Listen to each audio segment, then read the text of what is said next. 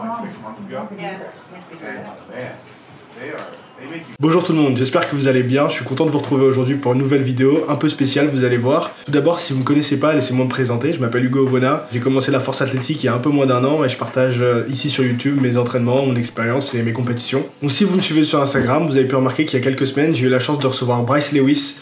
Euh, qui est venu s'entraîner dans ma salle ici à Bangkok pendant une semaine. Donc pour ceux qui connaissent pas, Bryce Lewis c'est l'actuel champion des moins de 105 américains et il a aussi gagné euh, les Worlds de 2018 il me semble en moins de 105. Donc euh, quelqu'un qu'on peut qualifier d'un vrai champion du powerlifting et quelqu'un qui est surtout là depuis euh, maintenant 10 ans il me semble dans le, dans le, powerlifting à l'international.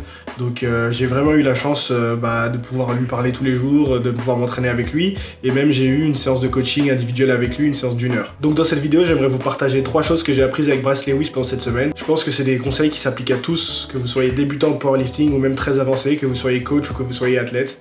Donc euh, trois choses que j'ai apprises avec Bryce Lewis cette semaine, c'est parti. Donc la première chose de laquelle on va parler, c'est la technique. Quand on progresse en powerlifting, tout va bien, on a tendance à pas remettre grand chose en cause, mais dès qu'on atteint un certain niveau de plateau, donc euh, que les progrès sont plus durs ou euh, qui s'arrêtent pendant un moment, la première chose qu'on va remettre en cause, souvent, c'est la technique. Je pense que vous connaissez tous cette personne qui euh, a stagné au bench et qui s'est dit tout d'un coup, je vais tester un Japanese grip,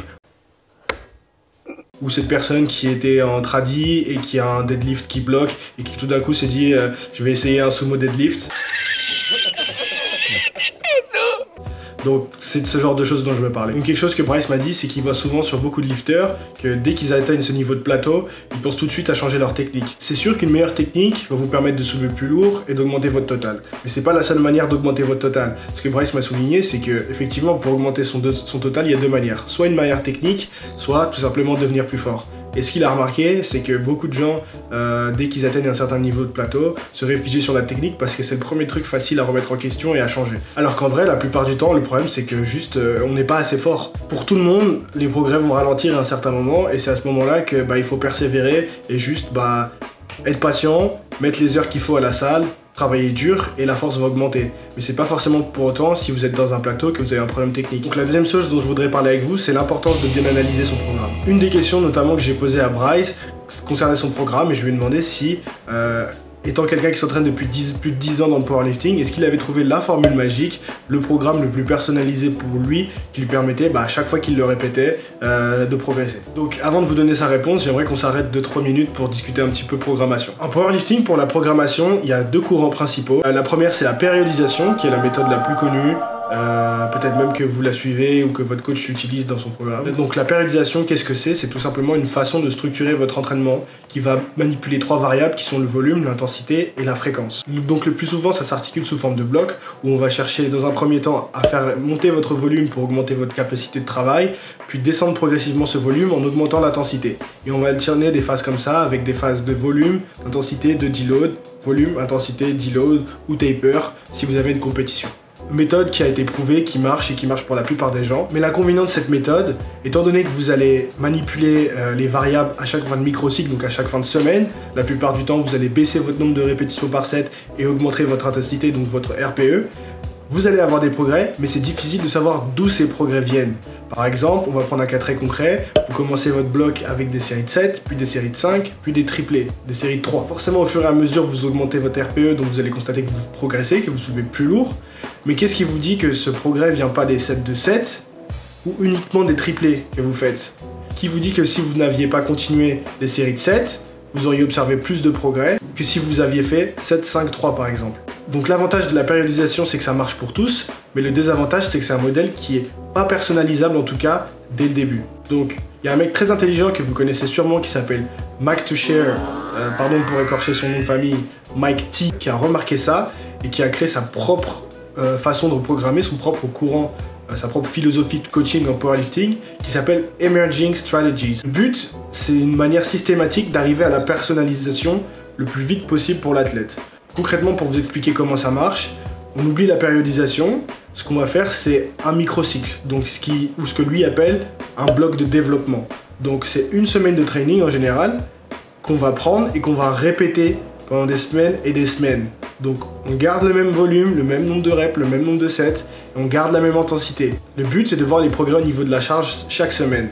On va continuer comme ça jusqu'à ce que l'athlète euh, arrête de progresser. Une fois que l'athlète arrête de progresser, on arrête le bloc ici et on va faire ce que lui il appelle un pivot. Un pivot, c'est l'équivalent à peu de choses près d'une deload. Et ensuite, eh ben, on recommence un bloc de développement en ayant analysé le bloc précédent et en ayant modifié les deux trois trucs qui n'avaient pas marché. Donc le but de cette méthode, c'est d'arriver le plus tôt possible à la personnalisation de votre entraînement et de votre formule magique qui marche pour vous et que vous pouvez reconduire indéfiniment pour progresser. Comme la périodisation, a ses avantages et elle a ses défauts, et que vous soyez team bloc de développement ou team périodisation, il y a du bon et du mauvais dans tout. Et donc pour revenir à la formule magique de Bryce, que vous soyez team bloc de développement ou team périodisation, au final ça change pas grand chose. L'important c'est d'analyser son training, c'est de repérer les tendances quand vous avez des blocs qui marchent bien, c'est de repérer voilà à quel nombre de répétitions j'étais, à quelle intensité, qu'est-ce qui a marché, qu'est-ce qui a pas marché, et de surtout traquer, traquer vos entraînements. Si vous avez un coach, tant mieux. Donc un bon coach, c'est ce qu'il va faire pour vous. Il va analyser les résultats de votre training et va voir les tendances qui se dégagent, ce qui marche, ce qui n'a pas marché. Ou si vous êtes comme moi et que vous vous coachez par vous-même, c'est très important euh, de pas juste euh, voilà, écrire son programme, mais de vraiment analyser les résultats. Et surtout de tester les choses. Si vous testez pas, c'est sûr que vous n'arriverez pas à la personnalisation de votre programme. Troisième et dernière chose que j'aimerais partager avec vous par rapport à cette semaine avec Bryce, ça c'est moins quelque chose que Bryce m'a dit, mais c'est plus quelque chose que j'ai observé en le voyant s'entraîner euh, euh, dans ma salle tous les jours. C'est la mentalité d'un champion et l'importance d'être focus, d'être concentré pendant sa séance. J'ai remarqué, moi, depuis que je suis plus en salle commerciale, et ça c'est peut-être un sujet pour une autre vidéo, mais quand on est dans une salle un peu plus type associative, on a tendance à s'éparpiller, à arriver, à dire bonjour à tout le monde, à discuter entre ses sets, à manger à la salle, un peu comme je fais. on a tendance à être un peu moins concentré. C'est vraiment important de, quand vous vous entraînez, bah vous êtes là pour vous entraîner. Et Bryce, il fait pas exception. Champion USAPL à plusieurs reprises, c'est pas pour autant qu'il se repose sur ses lauriers. Quand il s'entraîne, il s'entraîne dur. Là, cette semaine, il était en deload et même en deload, il était concentré, il met sa musique, il n'y a pas de blabla, pas de parole, le, gars est vraiment concentré dans ce qu'il fait. La deuxième chose que j'ai remarqué, c'est l'importance d'avoir un training partner. Alors pas n'importe quel training partner, euh, pas quelqu'un qui est là pour vous mettre des claques avant votre top set et puis vous encourager.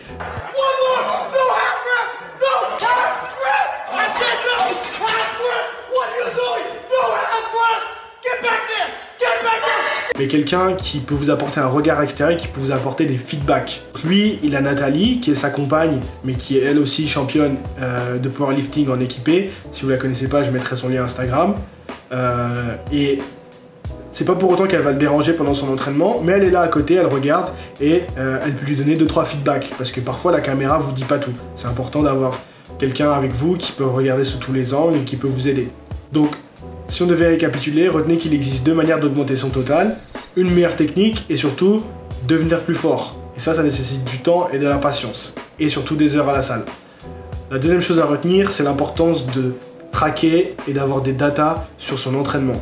Et surtout de repérer les tendances. Ça, c'est très important. Que vous le faites vous-même ou que vous ayez un coach pour le faire, faites-le. Repérez vos tendances.